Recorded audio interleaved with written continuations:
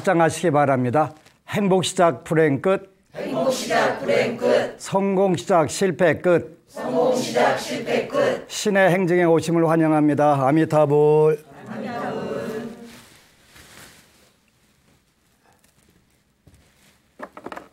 이제 오늘 또 이제 여러분들이 그 실천 불교, 그 불법의 실천 근데 그래서 어떻게 우리가 불교를 실천하면 그 잘했다고 소문나냐 이런 이런 부분에 대해서 같이 어, 정리를 하도록 하겠습니다. 어, 2년이란 시간이 금방 지나서 이제 그 몇 개월 안 남았는데 여러분들이 불교를 배우면 뭐가 좋은지 이제 이런 부분들인데요. 그래서 이제 현실적으로 어떻게 활용을 할 것인지 하는 문제인데 제가 이제 부산에도 사찰이 있는데 해운대 달맞이 고개에 달맞이절이라고 하는 절이 있는데 거기 가면은 이제 그 아주 재밌는 법부님이 하나 있는데 달맞이절에 오드리 햇번 오드리 햇번 오드리 햇번은 우리 그 선배 쪽 위쪽에서 그 세계적인 미녀고 또 선행을 많이 한 하는 그런 분이잖아요. 그 이제 달맞이절의 오드리 햇번이 어떻게 해서 탄생을 했냐면 그 이제 평소에 그 부처님의 신법 신법에는 두 가지가 있다고 그랬는데 하나는 그 마음을 잘 아는 명심 그, 그 견성법이 견, 견성법이 있고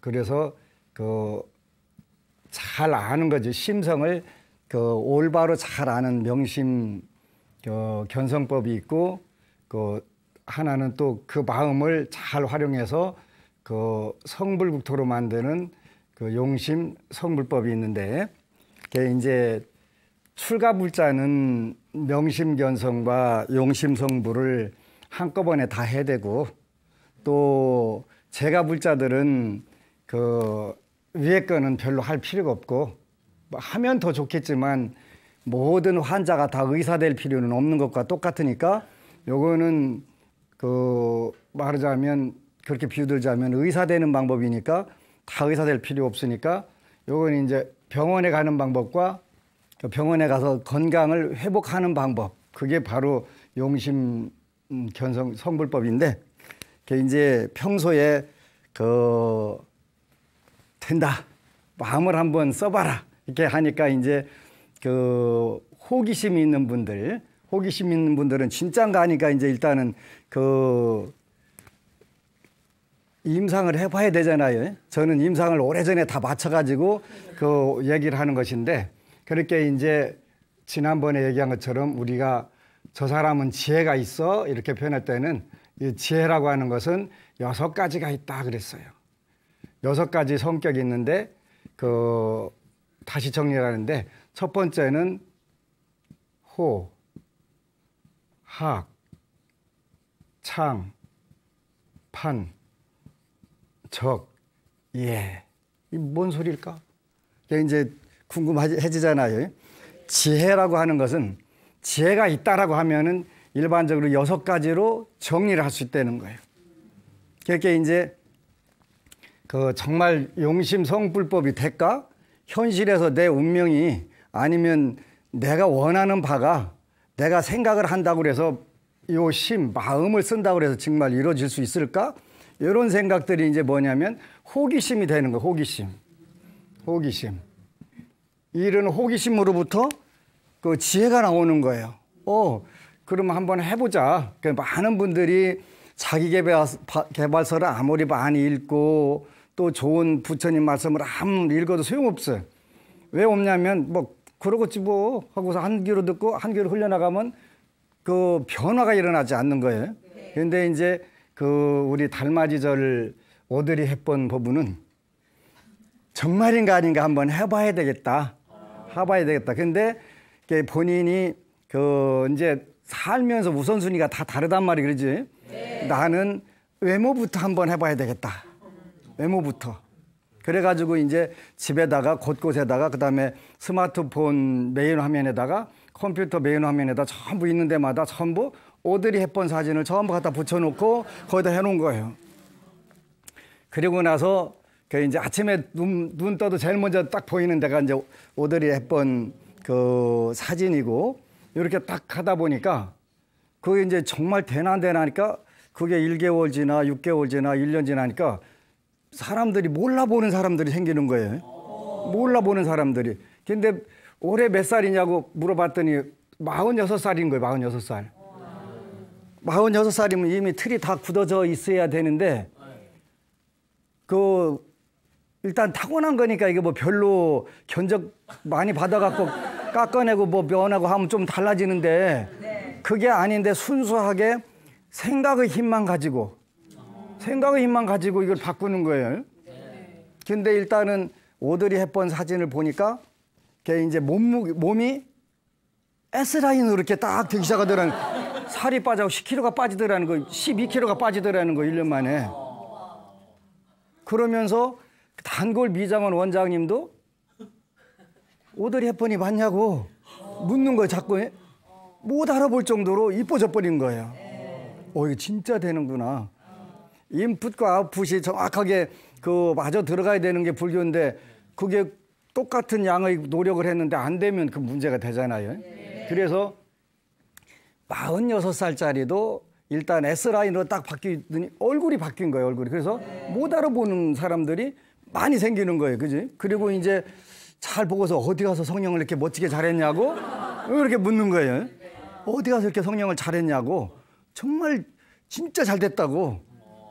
그러니까 그 여러분들이 타고난 틀도 틀- 틀도 그 용신법에 의해서 용신법에 의해 가지고 얼마든지 바꿀 수 있다. 그래서 이제 얼마 전에 물어봤어요. 그 다음 목표는 뭐야? 그랬더니 이제 그 일단은 외모가 받쳐주니까 이 나이에 이 나이에 그것도 뭐 10대면 얼마든지 그때부터는 좀 더 그 요 틀이 그 바뀔 수 있는 확률들이 성장 과정에서는 있을 수가 있지만 이미 이제 이 과정은 노쇠해 가는 과정인데 이 과정에서도 됐다는 건 엄청난 기, 기적이 아니라 당연한 건데 당연한 건데 그거를 성공해 본 사람들이 많지 않으니까 기적이 되는 거예요. 기적이 되는 거예요. 그래서 두 번째는 이제 그러면 재물에 대해서 한번 해봐야 되겠다. 이 목표를 세우고 하더라고. 그래서 정말 정말 멋지다 된다. 정말 멋지다 된다. 뭐 본래 좀 잘 타고났으면 그 뭐 그 좀그 방면에 대해서 크게 스트레스를 안 받을 수도 있는데 그 본인이 조금 좀 더 현재보다 잘 생겼으면 좋겠다. 매력적으로 생겼으면 좋겠다 하면 당연히 그렇게 하면 되겠죠. 그렇게 하면 된단 말이에요. 그러니까 모든 부분에서 이런 부분에 인류의 시조가 누구냐면 석가모니 부처님께서 명심견성과 용심성불법을 써- 써가지고 현실에서 현실에서 여러분들이 잘 그 행복하고 성공할 수 있게 사는 방법들이 제일 쉬운데 그 너무 쉽다 보니까 불교 부처님의 가르침을 못 믿는 거예요, 못 믿는 거. 이거 진짜 심각한 거예요. 그래서 정말 되는지 안 되는지 이 호기심이 발동이 돼가지고 해보니까 되더라. 그래서 이제 제가 정식 명칭을 달맞이절 오드리 헵번으로 임명합니다. 그래서 임명합니다. 음, 되는 거예요. 그래서 그 우리가 부처님 말씀에 정말 마음먹기 달렸다 했는데 될까 안 될까 하면 해봐야 돼. 해봐야 돼. 6년 동안이나 하면 된다는데 와가지고 5년에 한 번씩 찾아왔고 하면 될까요? 안 될까요? 그거 25년 동안이 그런 그런 분들도 있어. 근데 대부분 불자들이 그래요. 대부분 불자들이 왜 그러냐면 불자들은 지혜가 없거든. 지혜가 없거든요. 지혜가 없으니까 그 조선 시대 때 그 연려나면 연려가 났다고 그래서 그 막대기를 이렇게 뭐 이렇게 만들어 갖고 여기다가 요- 이렇게 이렇게 해 갖고 문 하나 세운 거 있잖아요. 그걸 뭐라 그래요? 연려문, 정려문 그렇게 하지. 근데 이게 그 얘기 들어보니까 어느 그 역사학자 말씀 들어보니까 성도덕이 문란한 지역일수록 이게 많대. 왜 그러냐 했더니 그, 그 도덕을 주입시키기 위해서 그 이제 스타를 하나 만들어 가지고 그 그렇게 자꾸 세운다는 거예요.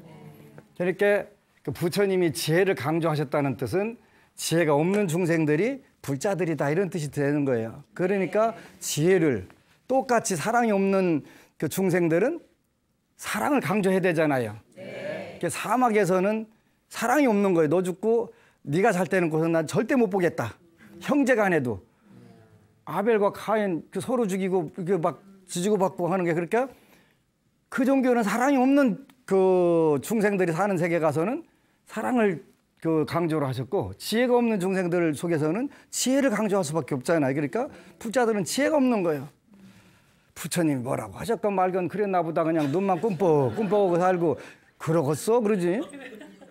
그러니까 불교를 수십 년 댕겨도 뒤풀이는 전부 다 그 소주하고 삼겹살로 하는 거예요. 왜? 계율이라고 하는 거 그런 거 뭐 그런 건 소인배들이나 지키는 거 아니겠어? 왜? 지혜가 없으니까. 지혜가 없으니까 이거 답답하고 폭포한 일이잖아요. 이 얘기를 참 폭포하다는 말을 잘 못 알아듣는 경우 있더라, 있더라고요. 그 충청도 그 전라도 이쪽 가면 백제권은 폭포가다는 게 안타깝고 그 답답하다 그런 뜻으로 폭포가다 이렇게 표현을 해요. 백제권에서요. 음, 그래서 이제 일단은 호기심이 있어서 이 나이에 이 나이에 정말 오드리 헵번이 될 수 있을까 아무리 되더라는 거예요. 되더라는 거예요. 되더라는. 그렇게 그 외모가 바, 되니까 자신감이 생기고 자신감이 생기니까 행동은 당연히 바뀌겠죠. 그리고 그 오드리 헵번이 가졌던 아름다운 마음까지 이왕이면 외모만 닮을 게 아니라 그 아프리카 난민들 위해서 봉사 활동하고 이런 것까지 아름다운 마음까지 닮아져 가, 가버리는 거지. 그래서 이 지혜라고 하는 것은 호기심이 그 바로 첫 번째 그 요건인데 지혜가 생기는 방법, 호기심이 있으니까 생기더라. 그래서 용심성 불법, 운명을 업그레이드하는, 바꾸는, 변화시키는 이런 방법 중에서 가장 쉬운 방법이 용심성 불법이다.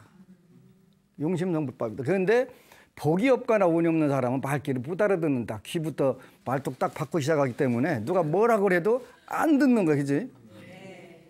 번이 더 저기 가면 죽어. 가지 마. 해도 그럴 리가 있냐고 가서 딱 꼴깍 하는 거예요. 부자들이 지혜가 없거든. 부처님의 법은 그 이 지혜를 연마하기 위해서 뭐가 필요하냐면 개정의 사막을 우리가 그 공부를 하는 거예요. 그러면 그 이제 그 금강경에 보면은 그 발 안오 따라 삼맥 삼보리 심자는 원하항조며 원하항복기심이니까 이렇게 이제 수보리론자가 묻는 거예요. 무상정등 정각의 그 마음을 댄 사람은 그 어떻게 머물고 어떻게 그 마음을 항복받아야 될까요? 그러니까 어 이렇게 받아야 돼 하고 말한단 말씀하신단 말이에요. 이렇게 하면 되는데 근데 요렇게가 어떻게 했냐면 이제 그 그런데 그 말귀를 알아들을 사람들이 있을까요? 그러니까 그런 소리 하지 마. 알아들을 사람 있어. 2500년에도 2500년 후에도 그런 말을 알아들을 수 있는 사람들이 있다. 어떤 사람들이냐면 유치계 수복자. 그러니까 그 계율을 지키고 유치계 그 닦을 숫자에다가 복복자 쓰니까 그 복을 닦는 이들은 그 계율을 지키고 복을 닦는 사람들은 그 2500년 후에도 금강경을 이해를 할 수 있다 되는 거예요. 금강경의 말귀를 알아듣고 그 그대로 실천한다. 그래가지고 발 안우 따라 삼약 삼보리심 무상정등 정각의 마음을 내 갖고 산다. 그렇게 나온단 말이에요. 그러니까 우리가 그 부처님 말씀을 우리가 철저하게 호기심이 생겨가지고 부처님이 술을 마시지 말라고 그랬는데 안 마시면 어떻게 될까? 그래갖고 이제 한번 안 마셔보는 호기심이 발동 걸려야 되는 거예요. 에이 부처님이 취하지만 말라고 그랬어. 그렇게 견강부회하면 안 돼. 억지로 끌어다가 자기 정당화시키면 안 되는 계율이라고 하는 것은. 그래서 저는 이제 군부대 수계식을 종종 가는데 제일 그 한편으로는 죄송스러운 부분들이 있어요. 왜 죄송? 저는 군인들한테는 그 세속 오개를 설하거든요. 왜냐면 그 군인들한테 그냥 근본 오개를 설하게 되면 첫 번째부터 딱 걸리는 거예요. 살생하지 마라. 군인들은 살생하기 위한 조직인데 어떻게 하면 더 효율적으로 한 방에 여럿을 날려버릴까 하는 그걸 연구하는 단체가 군인인데 살생하지 마라고 그러면 전쟁하지 말고 깨지라는 얘기인데 죽으라는 얘기잖아요. 내가 대신 죽어줄게. 전쟁은 그게 안 돼. 그래서 그 세소고개를 제가 설하는 거예요. 사군 이충. 뭐 지금은 군주가 없으니까 국가 사국 이충 그래서 국가에 그 충성을 하라. 뭐 사신이효 부모에게 효도하라. 교우이신 친구 간에 신뢰를 가져라. 그 다음에 그 임전무태 전쟁에 대해서는 그 승리를 하라 그런 뜻이지. 무태라고 하는 것은 물러서지 말라는 뜻이 아니라 승리하라는 뜻이요, 그지? 안 물러서면 후퇴될 때 안 물러서면 그것도 꽝 되잖아, 그지? 그러니까 승리하라는 뜻이란 말이에요. 그 다음에 살생유택. 죽이는 죽이는데 골라서 죽이자. 그러잖아요. 골라서 죽이자. 함부로 죽이면 안 된다. 그러니까 민간인을 다치게 해도 안 되고 이런 부분들. 저는 수계식을 그렇게 한단 말이에요. 왜 그러냐면 그 많은 젊은이들이 질문을 하는 거예요. 아니 오게 받고 전쟁 어떻게 하라고 하시냐고. 어 똑똑한 친구들 그 얘기를 하는 거예요. 전쟁 어떻게 하라고 하시냐고. 그래서 그 세계 1차 대전 그때에 이제 그, 그 전에 그 영국과 프랑스와 독일이 아프리카를 놓고 종단 정책, 횡단 정책 그 할 때 그 이제 영국하고 그 프랑스하고 이게 싸움이 붙었었던 모양인데 서로 차지하려고 그래서 한쪽은 식인종들 데려다가 전쟁시키고 한쪽은 인도 사람들 갖다 데려다 시키니까 인도 사람들 다 깨지더라는 거예요. 사람 죽이면 안 되는데 살생하면 안 되는데 그러고 식인종들 아이고 내 음식 왔네 하고서 그냥 막 좋아가지고 당연히 깨지지. 예. 그러니까 그 저는 그래서 군 군부대 수계식은 세소고개 화랑오개로 하는 거예요. 화랑 화랑오개로. 그래야 일단은 그리고 제가 부탁을 하는 거예요. 제대하게 되면 다시 꼭 수계를 받아라. 음, 수계를 받아라. 그때 그때는 네가 공부를 더 해가지고 이제 전쟁 마당에서 상대하고 상대를 죽여야 내가 사는 상, 상태인데 그건 전쟁인데 나는 살생하지 않겠습니다. 해갖고 어미타불 꼴까닥 그러면 의미가 없잖아요. 의미가 없잖아요, 그지? 그래서 우리가 이제 근데 그, 화- 그 세속 오계를 설하면서도 일단 근본 오계에는 어긋나기 때문에 제가 부처님께 죄송한 마음인데 불교가 그 중국으로 오고 한국으로 오면서 엄청난 변화가 일으키는 게두 가지 그 계율에 관련된 문제가 두 개가 그 변화가 일어났어요. 그래서 이제 중국에서는 그 남방 불교는 그 스님들이 일한다는 개념이 없어요. 그래서 이제 스님 세 분이 그 태국에서 오시면서 그 가이드가 하나 따라오면 가이드가 트렁크 네 개를 가지고 다니는 거예요. 스님들은 트렁크 안 들으면 안 되니까. 한 사람이 네개 트렁크 들어내니까 정신이 있겠어요, 없겠어요? 못 드는 거예요. 못 드는. 그런데 들으면 안 돼. 근데 이제 중국에 와서 그 백장청규라고 하는 그 선종의 선종의 그 계율이 생겼는데 그 아주 그 여러분 다 아는 거예요. 하루 일하지 않으면 하루 먹지 마라. 이렇게 바뀌었어요. 이거는 그 인도 불교에서는 있을 수 없는 이야기예요. 인도 불교는 절대 있을 수 없는 얘기예요. 그런데 중국에서 이렇게 계율을 바뀌었기, 바꿨기 때문에 오늘날 중국 불교가 살아남은 거예요. 중국 불교가 살아남은 게. 그- 그래서 야 이게 이 그 말씀을 하신 스님도 엄청나게 고민을 많이 하셨겠다. 하셨겠다. 그러지 부처님의 근본 계율을 바꾸는 건데 근데 중국의 환경에서는 이렇게 안 바꾸면 안 돼. 안 되는 거예요. 그러니까 일일 부작, 일일, 일일 불식 한 그 종파만 살아남고 나머지는 전부 그 범난이 나면 전부 다 때려잡는 거예요. 왜냐하면 놀고 먹는다고. 원래 그 인도나 더운 나라는 다 스님들이 놀고 먹어야 정상이고 이러면 안 되는데. 그러니까 그 그나마 중국에서 선종이 명맥을 이어 나온 그 근본 구절이 바로 이 구절이 되는 거예요.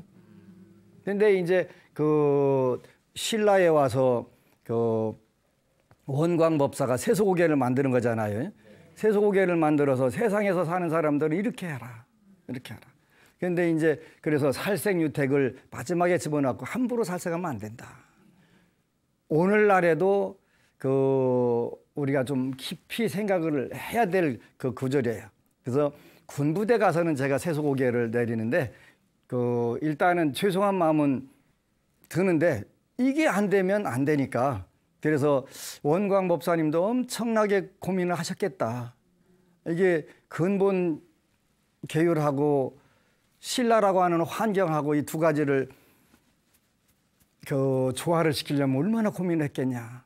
그 더군다나 최고의 지성인 스님이셨는데 그런 생각을 해가면서 그 한편으로는 그 안타깝고 한편으로는 고마운 마음을 가지면서 세수고개를 이제 군부대 수계식은 제가 그렇게 꼭 내려요.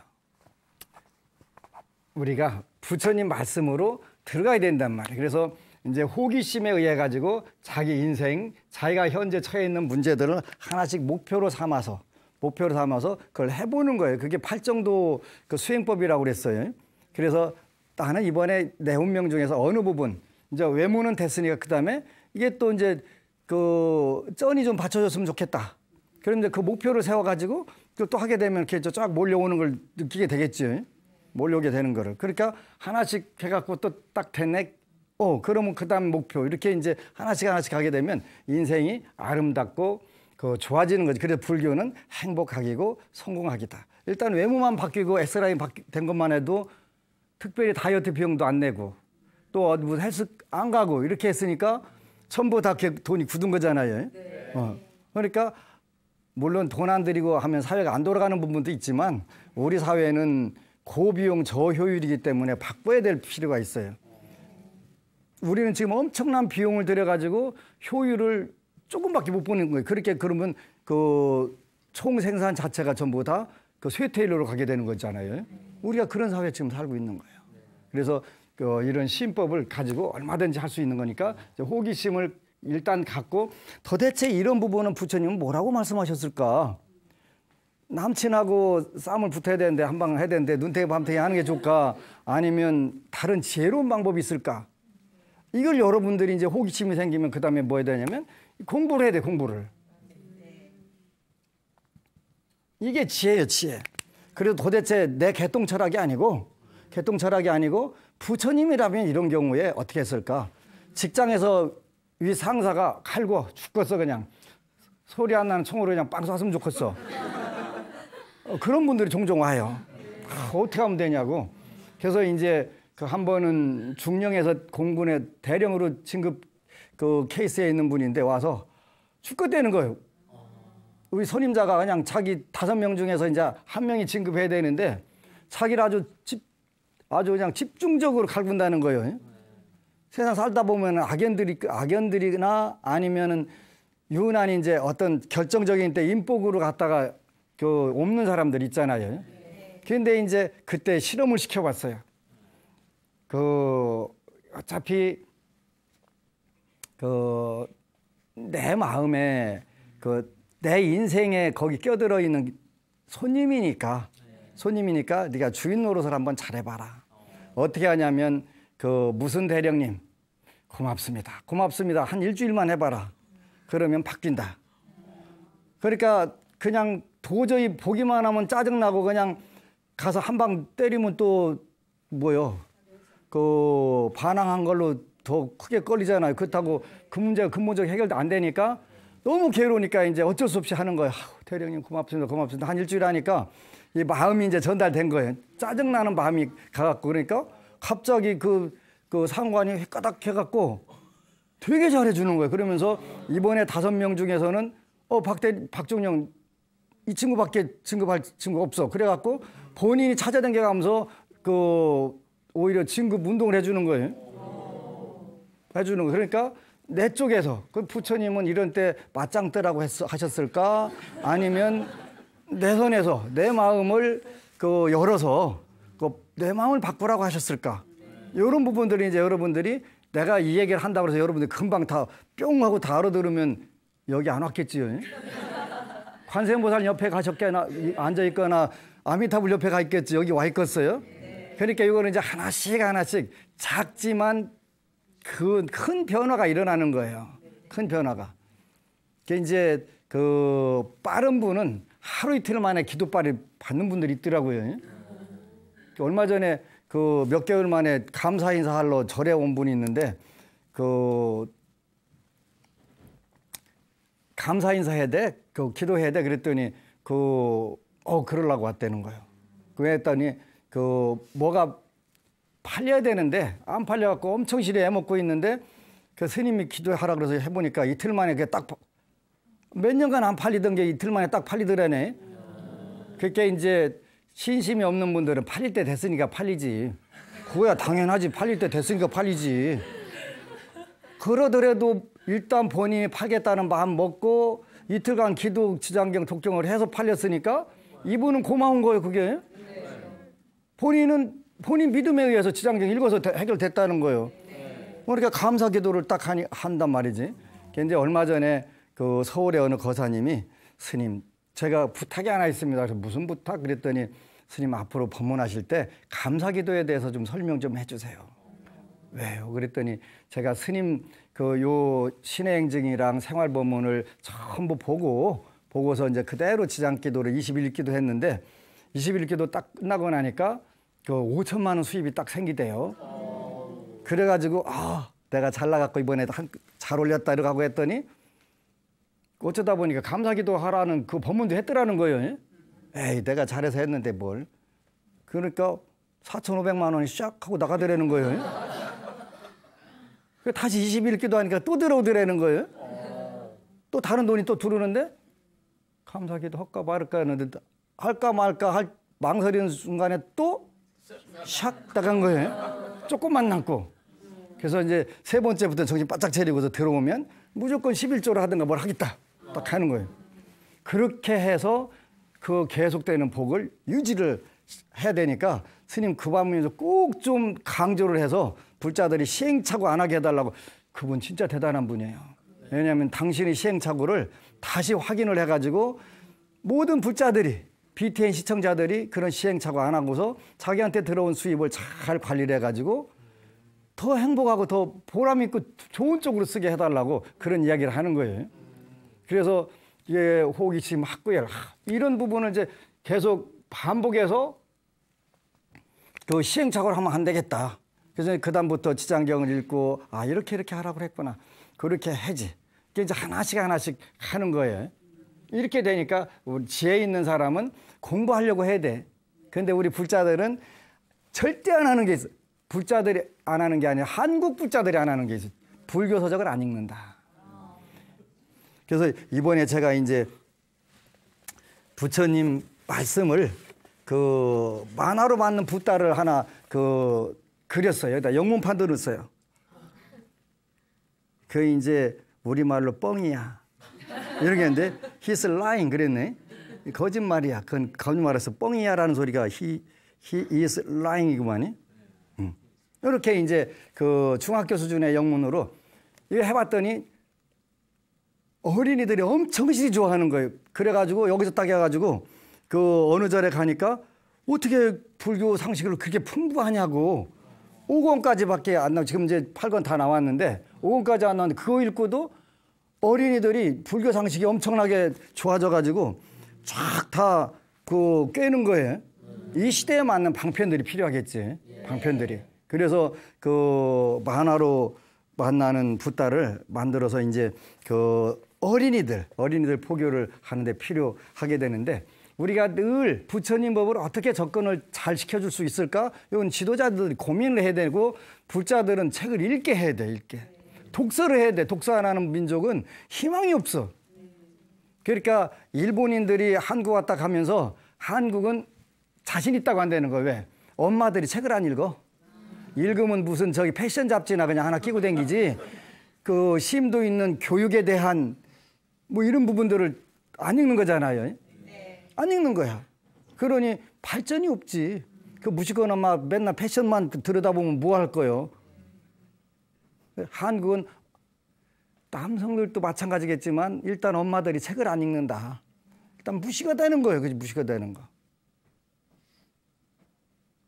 BTN 시청자만 빼고. 학구열이 죄를 만들어주는 거예요. 학구열이 죄를 만들어주는 거예요. 여러분들이 도통해서 뭐 할 거예요? 그 불교에서 말하는 지혜라는 건 이런 거예요. 이런 거 여러분이 도통해갖고 무슨 호풍 환호해갖고 바람을 부르고 비를 오게 하고 그게 도, 도통하는 게 아니. 그건 아무 의미 없어. 그래서 묻을 건데. 그래서 묻을 건데. 그 어느 도사 그 도인 스님한테 동네 사람들이 그 비가 안 와갖고 비 오게 해달라고 온 거예요. 그랬더니 며칠 날 비 오게 해줄까? 그랬더니 그 며칠 날 비 오게 해도 될까? 그랬더니 아니 그날 우리 우리 무슨 행사 있어서 안 되니까 그 다음 날로 하시고. 그 다음 날로 하니까 또 다른 사람이 와가지고 아이고 그날은 안 됩니다. 무슨 행사 있습니다. 1년 365일 비 내릴 날 있어요? 없어요? 없어. 못이요. 그러지. 자기 일이 더 크니까 못 되는 거예요. 그러지. 호풍 한호가 지혜가 아니라 우리가 호기심을 가지고 내 나는 왜 이렇게 살 이렇게밖에 못 사는 거야? 여러분들이 한번 깊이 생각해 보는 거예요. 혹시 못 사는 분들이 계시면 잘 사는 분이 있으면 나는 왜 이렇게 잘 사는 거야? 또 의심을 의문을 품고서 아 내가 전생에 이런 이런 복을 지었겠구나. 그러면 금생에는 이 복을 가지고 더 발전을 시켜야지. 그게 불법을 실천하는 거예요. 불법 실천은 쉬운 거 쉬운 거. 그러니까 그 부처님이라면 어떻게 하셨을까라고 하는 책이 있는데 미국에서 유명한 자기개발 학자가 한 그 책도 아마 지금 어디 창고에 다 있을 거리. 다만 몇십 권 샀는데 그 책을 지금은 절판됐다고 하는 것. 안 읽어 한국 부자들 도대체 부처님이 뭐라고 하셨는지를 알아야 될 거 아니요. 알아야 될 거 아니요. 그래? 그렇게 이게 이것보다 답답한 일이 어디가 있어요. 그러니까 불자들은 타 종교의 그 포교의 타겟 아주 좋지, 그지? 뭐 종교나 똑같은 거 아니겠어? 그러지 또 모르기는 모르면 그냥 입이나 담, 담 닫고 있으면 되는데 종교나 똑같디야. 뭐가 똑같어? 달라이 라마한테 그 어느 성당에 가갖고 미국의 성당에서 그 설법하시는데 종교나 다 똑같이 하십니까? 그래서 깜짝 놀래 무슨 소리냐고 아니라고 아니라고 왜 생사 문제를 해결하는 종교가 불교밖에 없다는 거예요. 출세간의 법은 불교밖에 없는 거예요. 절대 아니에요. 오승불법 내가 얘기를 해줬는데, 그지? 그래서 그 도대체 부처님은 이런 때 뭐라고 하셨을까? 많이 알아야 돼. 알아야 돼. 그래야 그때 잠깐 생각, 아, 부처님은 이럴 때 이렇게 대응하라고 하셨구나. 이렇게. 우리가 사는 모습들 전부 인생을 가르친 거란 말이에요. 그래서 그 지혜라고 하는 것은 호기심이 있는가 하면 학구열. 여러분들이 공부를 해야 돼, 공부를. 공부를 해야 된다니까. 한국 불자들이야 제발 공부 좀 하자 공부 좀 해. 네, 공부 좀 불서도 좀 읽고 사서 보고 봐주고 여러분들 대형 서점 가보세요. 불교 코너가 있나? 있기는 있어 그러지? 몇 권 꽂아 있어 몇 권. 타 종교들은 완전 다 도배를 해놓고 그럼 어느 종교가 활성화된 거예요? 타 종교가 활성화된 거예요. 타 종교가. 그러면 그 종교는 사회적 역할이 자꾸 줄어들어. 대형 서점의 그 종교 부스만큼 활성화가 되고 비활성화가 되는 거예요. 제발 책 좀 읽으시오. 제발. 공부해야 된다니까. 공부해야 되니까.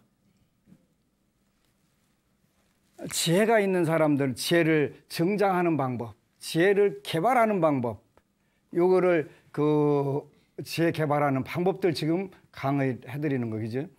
학구열. 정말 중요한 거예요. 인류 역사상에서 무식한 사람이 그 신념까지 가지고 지도자가 되면 그 조직은 망하는 거예요. 그죠? 망하는 거예요.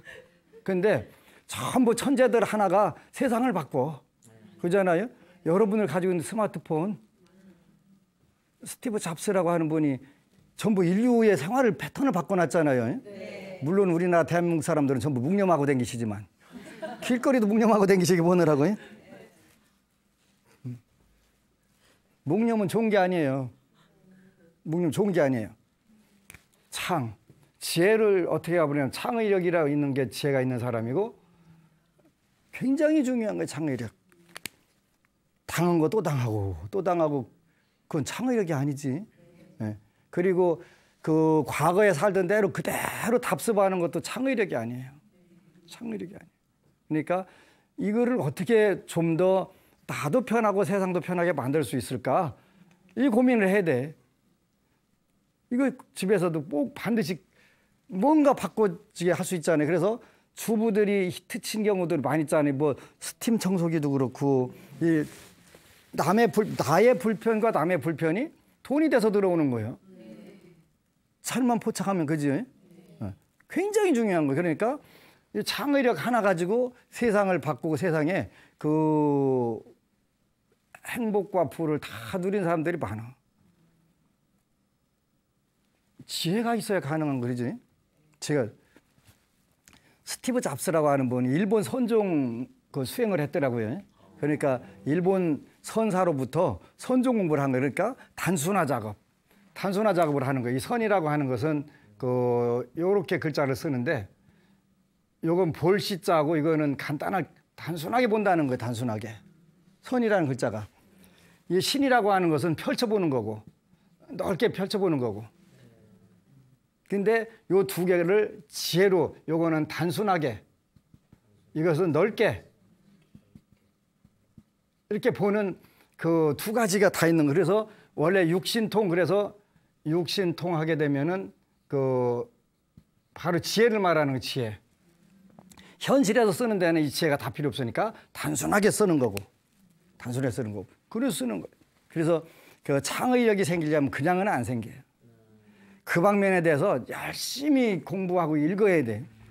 그 이제 그 제- 자기 개발서를 제가 많이 읽으라고 불자들한테 얘기하는데 어느 젊은 그 여보부가 저보다 더 많이 읽고 온 거예요. 그러니까 나보다 더 훨씬 똑똑한 소리를 더 잘할 거 아니에요. 그지? 그러면서 그, 그 여보부가 그러는 거예요. 세상엔 맨 기회 천지라고. 어떻게 그랬더니 제가 자기 개발서를 그한 100권 읽었다 했더니 한 150권 읽었대. 그러니까 세상이 맨 돈이 돌아다니고 전부 다 그걸로 보이더라는 거 그지? 그러면서 뭘 하더라도 당연히 성공하는 거지. 왜? 그 많은 자료들이 남들의 지혜, 요 학구열과 창의력을 통해서 하니까 뭐 하다못해 식당을 해도 자기는 성공할 자신이 있는 거예요, 그지? 남들이 다 하는 프랜차이즈 가는 게 아니라 그 정말 일반인들한테 좋아 좋은 유, 유익한 그런 음식을 만드는 거. 미국에 가 보니까 그러더라는 거예요. 그 대학 그 식당이 전부 유기농으로 해가지고 따님이 미국 유학 갔는데 1년 만에 아토피가 싹 없어졌더라는 거예요. 그 왜 없어지냐 했더니 좋은 음식 재료를 먹으니까 그렇더라는 거예요. 그러면 한국에 와서도 약간 약간 비싸게 하면서 질 좋은 음식으로 하게 되면 그러니까 하루 아침에 승부 거는 게 아니라 차츰차츰 걸면 된다는 거지. 그게 자기 개발의 그 지혜잖아요. 그래서 이런 창의력들은 그냥 생기는 게 아니라 남의 경험을 계속 끌어들이는 거예요. 끌어들이는 거. 끌어들여 가지고 자기 단계에서 어느 단계 그걸 발전시켜 나가는 거예요. 그러다 보면 창의력들 탁탁 나오지. 공부를 해야 돼, 공부를. 그래서 창의력은 그냥 생기는 게 아니라 지혜가 있는 사람들이 생기는 것이다. 그래서 지혜를 개발하는 방법이면서 지혜 자체가 되는 거예요. 불교에서 지혜는 아, 우리는 반야를 해야 돼. 반야가 뭔데 그러면 반야도 모르냐? 반야지. 응, 그지? 근데 어떻게 쓰는데? 그러면 그, 그것도 모르냐? 개념을 모르니까 모르냐만 묻지. 네가 알아서 해라. 그지? 모른다고는 대답할 수 없으니까 네가 알아서 해야지. 그러지? 그렇게 되면 불교가 아닌 것 돼 버리는 거지. 불교. 그래서 그 창의력은 그냥 생기는 게 아니라 남의 많은 경험들 요즘보다 더 좋은 세상이 어디가 있어 그러지? 더 좋은 세상이 어디가 있어? 뭐 맨 자료야 맨 자료. 맨 자료. 옛날에는 그 책이 없으면 방 접근할 길이 없었어. 근데 뭐 맨 수없이 다 널려 있는 자료들. 자기가 목표만 세우면. 그래서 한국 젊은이들이 아직 절망하기에는 그 절망할 필요가 없다고 생각하는 거예요. 지금은 맨 기회야. 우리 때는 중학교 저는 초등학교에서 국민학교에서 중학교 가는데도 굉장히 힘들었어요. 돈이 없으면 그때는 중학교도 못 갔어. 지금은 중학교까지 의무교육이요, 고등학교까지 의무교육이요. 네. 그런 세상이잖아. 그러니까 맘만 먹으면 돼. 환경은 환경은 어차피 내 생각에 의해서 얼마든지 업그레이드 될 수 있어. 환경뿐만 아니라 내 오, 그 육체도 다 바꿀 수 있는데 육체도 바꿀 수 있는데 하물며 환경이 안 바뀌겠어요? 바뀐다니까. 그러니까 일단 여러분들이 한국 젊은이들 희망만 가지면 돼. 희망 못 가지게 아무것도 없어. 지구상에 나가봐. 얼마 전에 스리랑카하고 미얀마에서 다녀오는데 거기 그 고등학생들이 대거 몇백 명씩 한국에 산업연수생으로 오대. 우리 산업연수생 안 가도 먹고 사는 아무 문제 없잖아. 그러니까 이때 더 지혜를 연마하고 창의력을 그 연마해서 세상으로 나가면 세상도 막 아름답게 만들 수 있고 여러분 자신도 인생을 행복과 성공할 수 있다니까. 모든 것은 생각에 달려 있는데 생각만 해갖고는 안 돼.